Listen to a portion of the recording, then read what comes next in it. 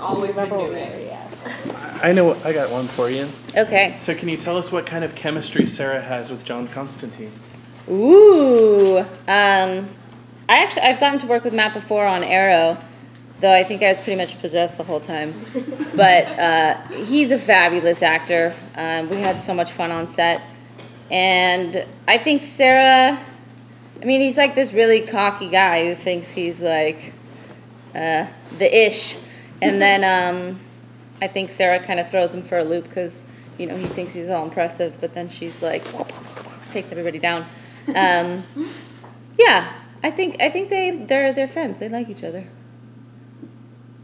So what can you tease about the crossover this year? How's it different from the past? And what's Sara's role? Um, I I like this crossover better than last year's crossover because there's a lot more normal human things in it.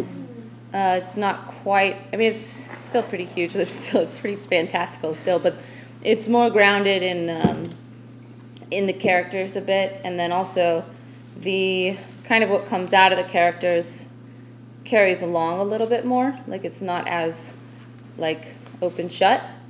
Um, the kind of the lessons and things will will carry on through for the characters in the other seasons.